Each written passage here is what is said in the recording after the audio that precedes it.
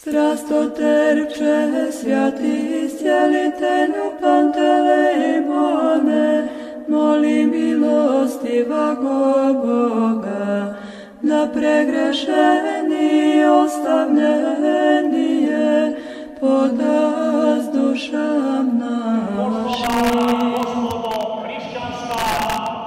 Velikom i svijetlom danu, svetom nedeljnom danu, vaskršnjem danu, a svaki nedeljni dan je vaskrsni dan i svaka sveta nedelja je vaskrsenje u malom gospoda i spasa našeg Isusa Hrista. Kada se sjećamo najvećeg i najvažnijeg i centralnog do- događaja u domostroju našeg spasenja, vaskrsenja gospoda i spasa našeg Isusa Hrista, pobjedi svjetlosti nad tamom, pobjedi vječnoga dobra nad zlom, pobjedi vječnoga i besmrtnoga života nad smrću, truležnošću, besmislom i ništavilom. Sama riječ, draga braćo i sestre, sveta nedjelja, riječ nedjelja u srpskom jeziku, etimološko značenje ove riječi kako bi bilo, nedjelja ne djelati, ne raditi, već taj dan posvetiti Bogu, posvetiti svojoj duši, posvetiti svome spasenju. Svaki pravoslavni hrišćanin kada ide sus, u susret svetoj nedelji, ovom velikom prazniku, odmah treba da se sjeti stradanja gospodnjega, da se sjeti gospoda koji je postradao na krstu, umro na krstu, prolio svoju božansku krv na krstu, podnio najveće muke, najveća stradanja na krstu, ali taj isti gospod je vaskrsao, ustao iz mrtvih, pobjedio smrt kao najjače oružje u rukama satane i nama darovao život vječni. Zato je sveta, zato je za svetu nedjelju crkva Božija poučena i sveti oci poučeni svetim i životvornim duhom Božijim odredili i božansku zapovijest poštovanja ovoga velikoga praznika. Šest dana radi i završavaj sve svoje poslove, a ovaj sedmi dan posveti gospodu i spasu našem Isusu Hristu, posveti hrišćanine sebi, svojoj duši, svome spasenju. U ovaj sveti nedeljni dan, u ovu devetu nedelju po duhovima, draga braćo i sestre, mi praznujemo jednog velikog svetitelja i ugodnika Božijeg, svetog velikog mučenika i selitelja Pantelejmona. Praznujemo i svetoga Klimenta, onoga Klimenta koji je bio učenik Kirila i Metodija slovenske braće i prosvetitelja. Ali ćemo se danas, draga braćo i sestre, osvrnuti na žitije ovog velikog ugodnika Božijeg, svetog velikog mučenika i selitelja Pantelejmona, onoga svetitelja i ugodnika Božijeg koji se priziva u svim molitvama kao brzi pomoćnik i zaštitnik zajedno sa svetim besrbrnicima i čudotvorcima i ljekarima, Kozmom i Damjanom, Kirom i Jovanom, Ermolajem i svim onim svetiteljima, čudotvorcima i ugodnicima Božijim koje prizivamo u našim životnim nedaćama i nevoljama. Ovaj veliki svetitelj i ugodnik Božiji, sveti velikomučenik i selitelj Pante, Pantelejmon, bi rođen u gradu Nikomidiji od majke hrišćanke i od oca neznabošca. Majka mu se zvala Ebula, a otac mu se zvao Evstorgije. ovoga ugodnika Božijeg svetog Pantelejmona krsti onaj čudesni Ermolaj, koga smo juče praznovali, sveti Ermolaj. On ga krsti jer je tada Ermolaj bio prezviter Nikomidijski. On ga prihvati k sebi, pouči ga vjeri Hristovoj, vjeri hrišćanskoj i krsti ga i prosvjetli njegovu mladu dušu svetom naukom evanđelskom za nas, draga braćo i sestre, sve spasonosnom naukom. Još od rane mladosti, kao mladić, ovaj svetitelj i ugodnik Boži izuči sve ljekarske nauke toga vremena i sjeljivaše sve bolesti, sve muke, sve nedaće, sve neduge na ljudima silom Božijom, silom svetoga i životvornoga duha Božijeg, imenom živog istinitog Boga, gospoda i spasa našega Isusa Hrista. Tako jednom prilikom on isjeli jednoga slijepca, koga svi tadašnji ljekari toga vremena ljekari nijesu mogli isjeliti, pokušavali su, ali njihovo isjeljenje je bilo bezuspješno za ovoga čovjeka.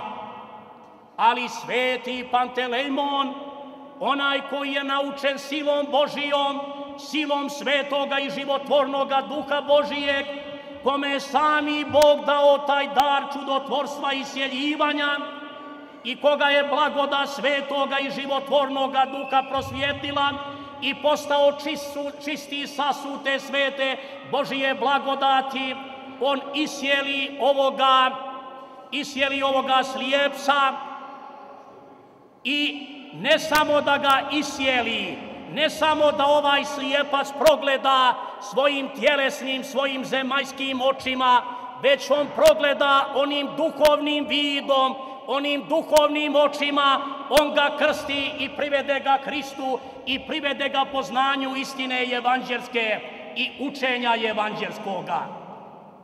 Zato tadašnji ljekari toga vremena optužiše ovoga ugodnika Božijega i rekoše caru zločestivome, caru Maksimijanu, da je Pantelemon hrišćanin i da sve što čini, čini imenom Hristovim i da javno ispovjeda vjeru u gospoda i spasa našeg Isusa Hrista.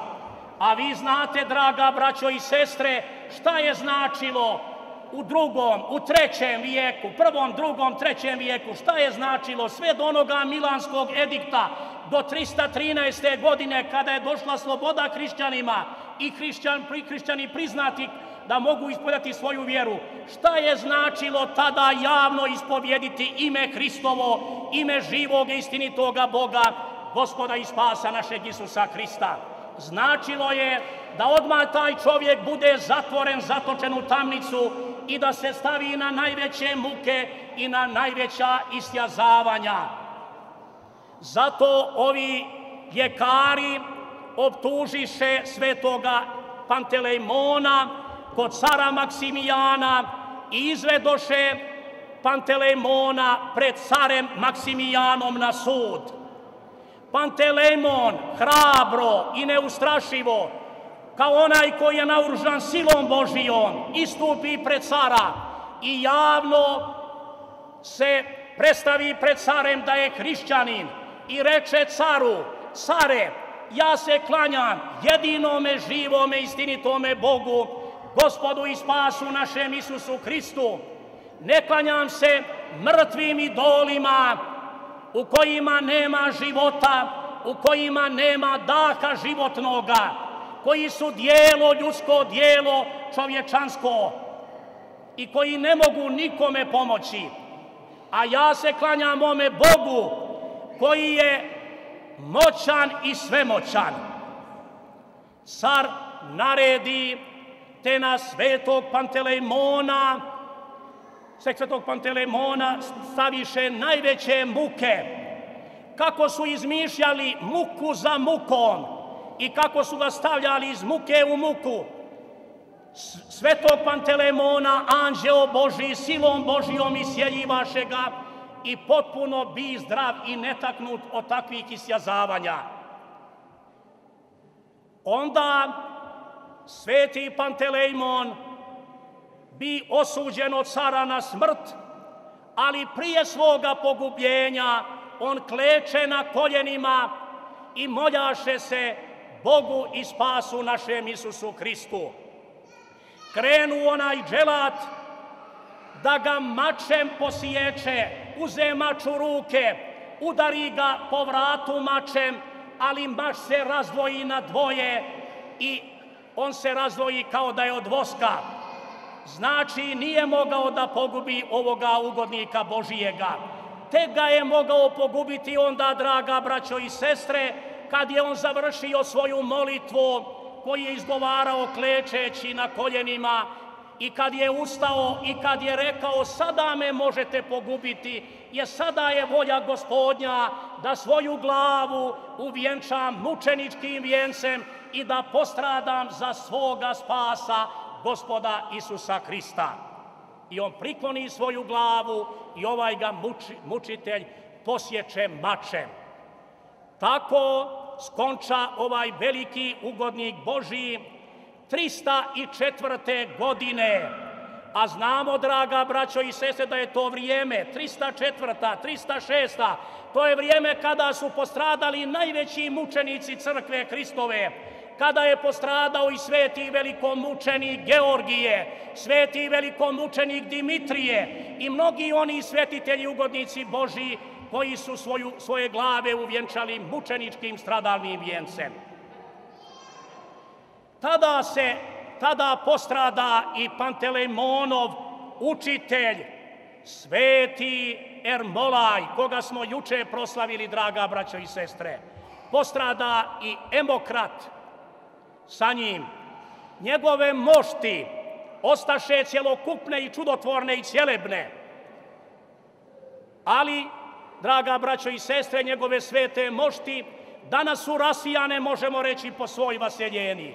Na Svetoj gori ima dio njegovih svetih moštiju, ima njegov sveti čudesni manastir zvani Pantelejmon, ruski manastir Pantelejmon, veliki svetogorski manastir i čudesni manastir.